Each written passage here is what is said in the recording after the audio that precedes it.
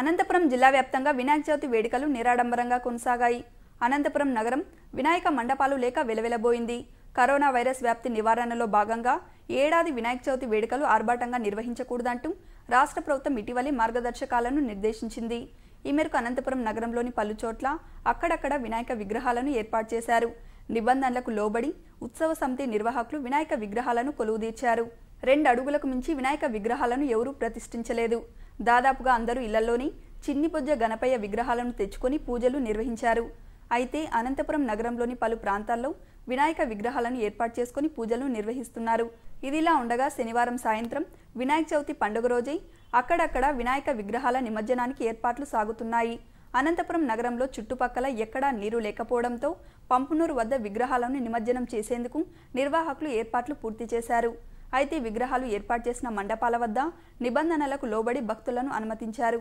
శానిటైజర్ల వినియోగం భౌతిక దూరం పాటిస్తూ మాస్కులను వినియోగించిన వారిని అనుమతించారు. ఏది ఏమైనా చరిత్రలో ఎన్నడూ లేని విధంగా ఏడాది వినాయక చవితి వేడుకలు ఇలా బోసిపోవడాన్ని భక్తులు జీర్ణించుకోలేకపోతున్నారు.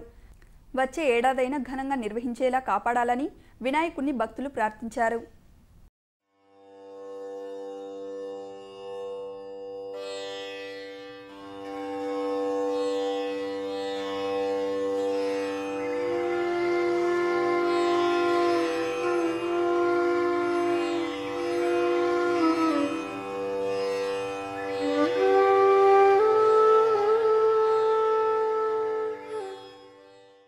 గణేష్ ఉత్సవాలని దేశంలో బాలగంగాధరులకు ప్రారంభించిన తర్వాత నూట ఇరవై నాలుగు సంవత్సరాలైంది. అనంతపురం పట్టణంలో ముప్పై ఎనిమిదవ సంవత్సరం గణేష్ ఉత్సవాలు జరుపుకుంటున్నాం. కానీ కరోనా కారణంగా ఈరోజు ఒక్కరోజుకే పరిమితమైన గణేష్ ఉత్సవాలు.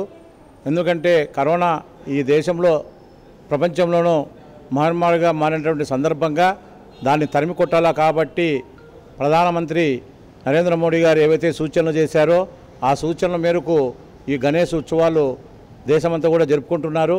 అదే పద్ధతిలోనే అనంతపురం పట్టణంలో కూడా ప్రతి ఇంటి ఎందునూ అదేవిధంగా అపార్ట్మెంట్స్లోనూ అదేవిధంగా దేవాలయాలు అదేవిధంగా కళ్యాణ మంటపాల్లో ఒక్కరోజుకే పరిమితం చేసి ఈ ఉత్సవాల్ని అంగరంగ వైభవంగా జరుపుకుంటున్నారు.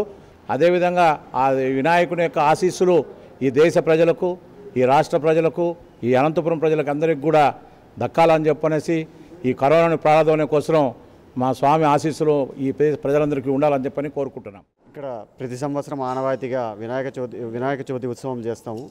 అనంతపురం పట్టణంలోనే ప్రప్రథమంగా స్థాపించినటువంటి వ్యవస్థ యువన సంఘము. ఈ సంవత్సరం దాదాపు నలభై సంవత్సరాలు పూర్తి వసంతాలు చేసుకొని ఈసారి కూడా నిర్విఘ్నంగా మేము వినాయక చవితి ఉత్సవం చేశామని తెలియజేస్తున్నాం. ఆరవై శివజన సంఘంలో భారీ ఎత్తున వినాయక చవితి ఉత్సవాలు జరిపేవాళ్ళం.